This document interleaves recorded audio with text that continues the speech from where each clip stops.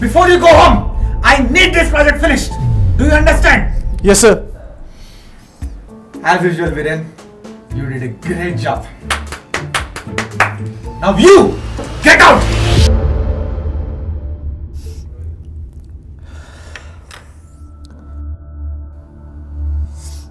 The project deadline is next week. I don't know how I'm going to finish it today, and I've already booked tickets for IPL. I can help you. What's this? Just wear it. Why? Put it on. You'll see.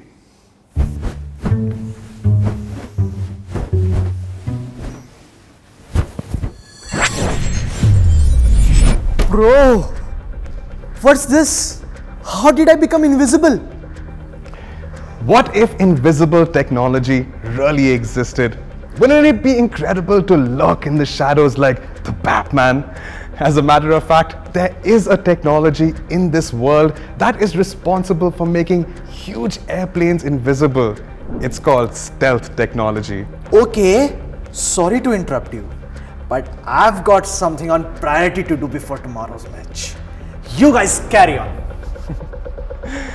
In this Science Insight, we're going to explore invisible technology and how it helps several countries sneak past the borders of other countries.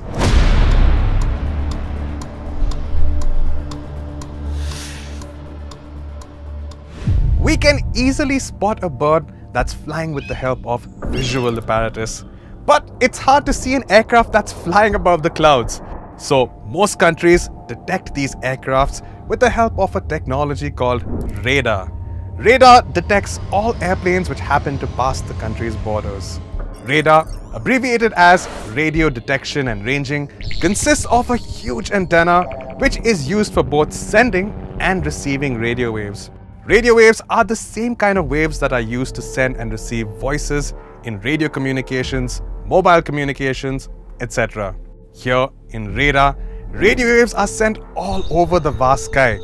When a passenger flight or private jet or helicopter flies in the sky, the vastly spread radio waves from radar hit the metal surfaces of the aircraft and are reflected back to the ground, similar to how light hits an object and is reflected back to its source. When radio waves are reflected back to the ground, they are received by the same huge antenna of the radar system. This signal that returns to the radar system alerts it that there is something made of metal flying in the sky. The radar system also calculates and finds the speed of the aircraft that's flying above by calculating the duration between the sent and received radio waves. It also calculates the size of the aircraft by measuring the difference between the sent and received energy of the radio wave. Due to the invention of the radar system, it is difficult for a military aircraft to pass through an enemy's borders. During World War II, Nazi Germany developed a fighter bomber aircraft. They named it Horten Ho 229.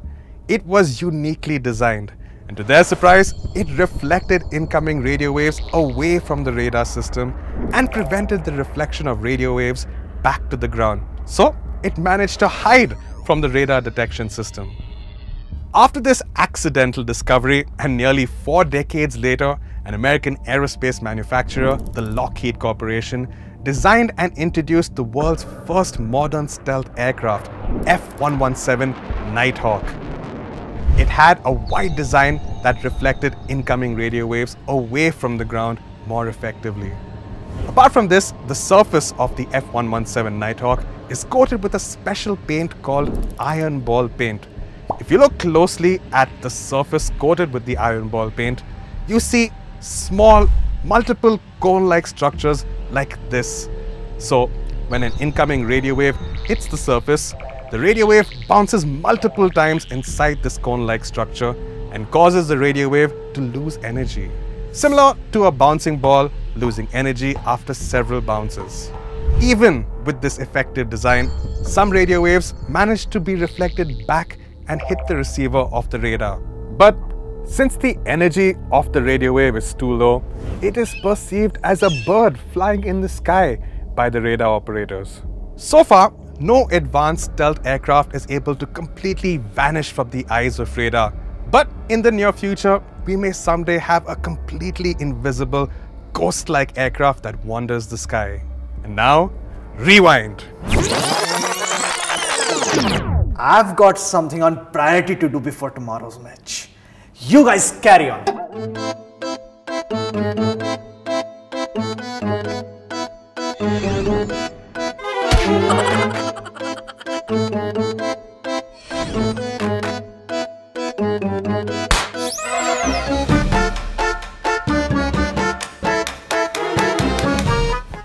Ghost! Ghost! Guys! Ghost!